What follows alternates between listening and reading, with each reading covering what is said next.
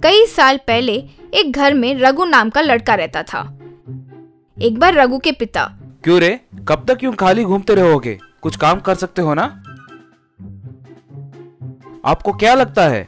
खाली घूमना इतना आसान है? नौकरी का क्या है? थोड़ी मेहनत करो तो मिल जाएगी। बिना नौकरी के सबका हाल चाल पूछना उतना आसान नहीं है। छी छी, ये उल्टी बातों की तो कोई कमी नहीं है। कुछ तो काम आ सकते हो ना? कम से कम पैसे तो मिलेंगे ना? पिताजी, अब वो कैसेट बंद करोगे क्या? तीन सालों से जो कैसेट चला रहे हो, वही दोहरा रहे हो। अब बस भी करो। कहकर वहाँ से चला गया।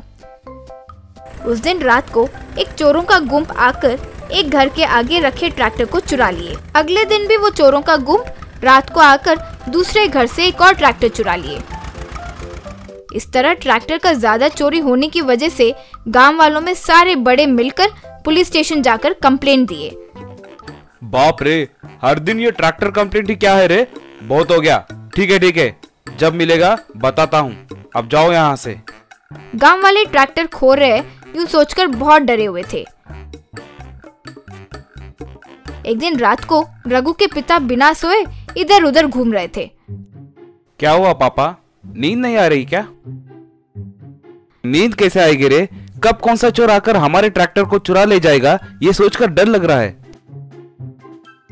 अरे मैं देख लूँगा ना पापा। आप आराम से जाकर सो जाइए। कहकर पिता को भेजा। लेकिन रघु कुछ ही देर में सो गया। अगले दिन सुबह उठकर देखा तो ट्रैक्टर नहीं दिखने से अरे अरे अरे मेरे ट्रैक्टर चोरी हो गया है। यूँ कहते हुए बगल में ही सो रहे बेटे रघु को वो एक दे मारा। क्या पापा? यू मार रहे हो? अच्छी नींद को क्यों डिस्टर्ब कर रहे हो? अब क्या हुआ?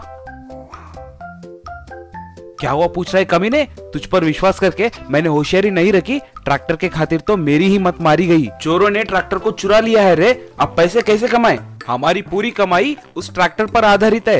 यूँ दुखी होने लगा। रघु को वो बातें सुनकर बहुत दुख हुआ। रघु तब मन में किसी भी तरह पापा के ट्रैक्टर को ढूंढ कर वापस लाना होगा। सोचकर उस रात पेड़ पर बैठकर देखने लगा।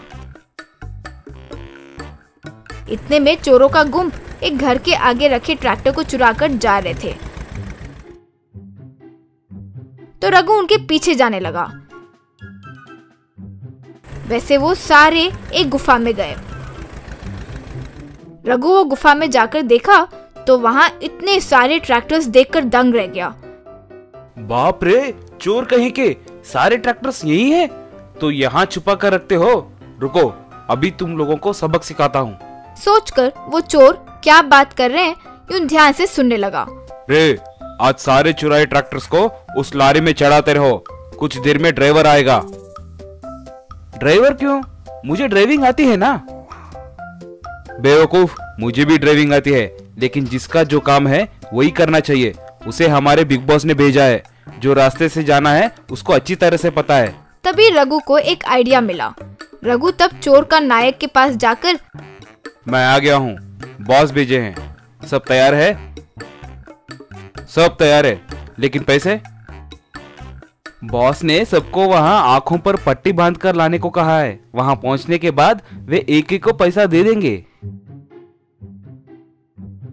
तब रघु उन सारे चोर के आँखों पर पट्टी बांधकर ट्रैक्टर्स को लॉरी में छड़वा कर पुलिस स्टेशन ले जाकर वहाँ सब बताया। पुलिस तुरंत उन लोगों को जेल में डाल दिए। इस तरह रघु ने उस गाँव की समस्या का हल निकाला। सिम्बापुरी नाम के गाँव में उस साल फ़सल अच्छे से उगी। कल किसान फ़सल तैयार करके घर लाने की सोच रहे थे कि उसी रात उनके फ़सल पर एक बड़ा सा जाइंट रैट ने हमला कर दिया। सारा फ़सल को सर्वनाश कर दिया। वो देखकर गाँव वाले। अरे सोने जैसे हमारे फ़सल को नाश कर दिया अरे ये माया चूहा कैसे आ गया? ये कहाँ से आ गया हमारी ज़िंदगी में? इसे किसी ही तरह पकड़ना होगा। कोई तो रास्ता निकालिए। वैसे इतने बड़े चूहे को हम कैसे पकड़ पाएँगे?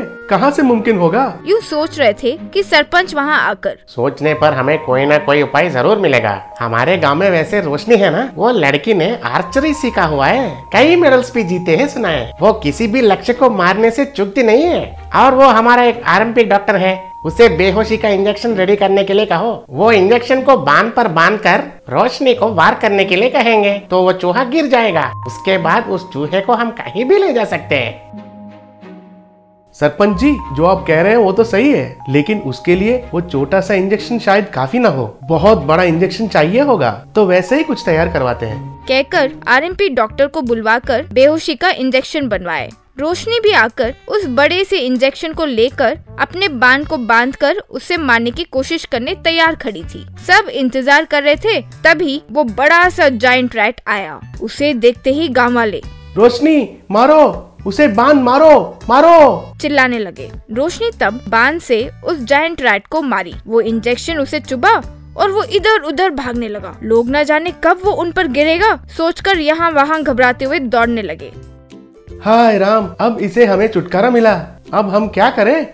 कह रहे थे कि सरपंच आकर। एक बड़े ट्रॉली लेकर आइए इसे हम दूर छोड़कर आ जाएँगे। लेकिन उसे ले जाने के लिए अपना ये बहादुर ड्राइवर फुल पीके ठुल है। उसे तो नींद से हम अभी उठा नहीं सकते। क्या कोई ये ट्रॉली चला सकता है? कोई है? तो आगे आइए। सरपंच जी मुझे अनुमति दीजिए। मैं कोशिश करती हूँ। कहकर एक बड़े जाइंट जेसीबी को मंगवा कर जाइंट रैट को उठाकर ट्रॉली पर रखे। रोशनी ट्रॉली लॉरी चलाकर मैं इसे जू वालों को सौंप कर आती हूँ। कहकर ले ही जा रही थी कि बेहोश चूहे को अचानक होश आ गया और लगे ताले को तोड़ दिया और भाग निकला। अरे ये चूहा भाग गया। कहीं हम पर वार न कर बैठे। क्या करे भगवान? सोच रहे थे कि रोशनी वहाँ से जंगल गई। वहाँ एक स्वामी जी से मिलकर अपने गाँव पर आई परेशानी के बारे में बताई। स्वामी जी उसे एक बड़ा जाइंट गोल्डन रैट दिए।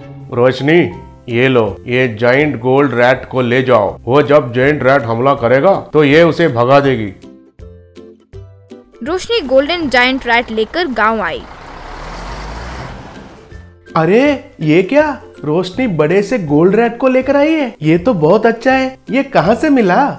कहे तो रोशनी ने उन्हें सब बताया। हमें अब डर नहीं है। जब जायंट रैट आएगा, हम उसे भगा सकते हैं, कहकर सबको हिम्मत दिलाई कि तभी वो जायंट रैट फिर से इन पर हमला करने आ गया। बस, फिर ये गोल्ड रैट उस पर हमला की। इस जायंट गोल्ड रैट को देखकर वो मामूली चूहा वहाँ से भाग निकला। तब गाँव वाले बहुत खुश हुए। आज रोशनी नहीं होती तो पता नहीं हमारा फ़सल का क्या होता। वो अपनी आर्चरी से और बड़े से हिम्मत से हमारे फ़सल को बचाई पहले तो मैं लड़कियों के माता पिता से बहस करता था कि लड़कियों को ऐसे खेल में क्यों डालना चाहिए। आज इस लड़की ने साबित कर दिया कि लड़कियाँ कुछ कम नहीं है। थैंक यू रोशनी। रोशनी ये सुनकर बहुत खुश हुई। उसके माता पिता भी बहुत खुश हुए। वो भोनगिर नाम का गाँव था। उस गाँव में ईश्वर प्रणोय नाम के दो दोस्त हुआ करते थे। वो बचपन से ही बहुत बदमाश मिजाज के लड़के थे। एक बार प्रणोय, अरे, बहुत दिन हो गया रे, हमें टूर जाके, क्या हम कहीं पे घूमने जाएँ? हाँ रे, बहुत दिन हो गए, कल हम नालंदा फोर्ट जाएँगे। कहकर अगले दिन वो दोनों गाड़ी में निकले। वैसे कुछ दूर जाने के बाद उसके बचपन का स्कूल फ्रेंड एक दिखने से हे अशोक, कैसा है? ठीक हूँ रे, लगता है दो छिछोरे निकले कहीं घूमने। हाँ रे, नालंदा फोर्ट को जा रहे क्या? नालंदा फोर्ट जा रहे हो? अरे भाई, वो यहाँ से 2000 किलोमीटर की दूरी पे वहाँ गाड़ी में जाओगे? क्या हुआ? वो 2000 किलोमीटर की दूरी पे पर मैप में तो नज़दीक दिखा रहा है। अरे मैप्स में चाइना भी नज़दीक दिखता है। तो क्या तुम चाइना चले जाओगे? जा मेरे भाई, जा। चाइना क्या? हम कहीं पे भी जा सकते हैं। ज़रूरत पड़ी तो उन चाइना वालों से युद्ध करके भी आ जाएँगे। कहकर वो निकल गए। वैसे कुछ दूर जाने के बाद अचानक उसका टायर पंचर हो गया। अरे, इसे अभी पंचर होना था क्या? वो दोनों एक पंचर शॉप में गए। वहाँ पंचर शॉप वाले से ईश्वर, भैया, टायर पंचर हुआ है। जल्दी उसके बारे में जाके देखो। टाइम लगेगा भाई। बहुत अर्जेंट है भाई। हमारे पास बिल्कुल टाइम ही नहीं है।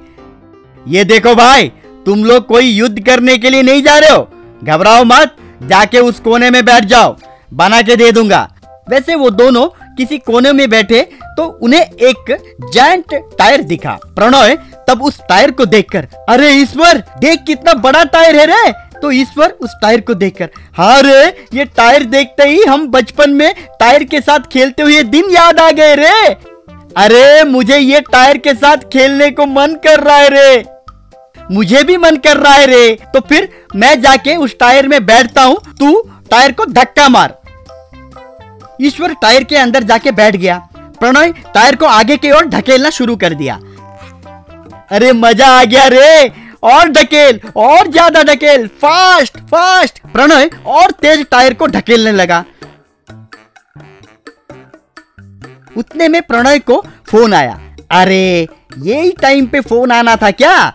कहकर रुक के फ़ोन उठाया। उतने में वो टायर आगे तेज़ी से निकल गया। अरे प्रणय, जल्दी आ रे। क्यों वहाँ पे रुक गया? ओ माय गॉड कहकर टायर के पीछे भागने लगा।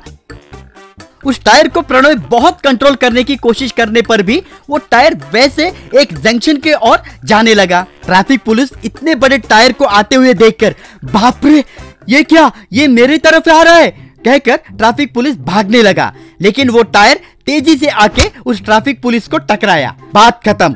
ट्रैफ़िक पुलिस हवा में उड़ते हुए नीचे गिरा। बाप रे मर गया रे मैं! कहकर चिल्लाने लगा। वो टायर वैसे ही आगे बढ़ते हुए ऑटो, कार के ऊपर चढ़कर उन्हें पापड़ बनाकर सब बर्बाद कर दिया। पुलिस तब आकर, क्यों रे? पब्लिक प्रॉपर्टी को नुकसान पहुंचाओगे? कहकर उन दोनों को खूब पीटे।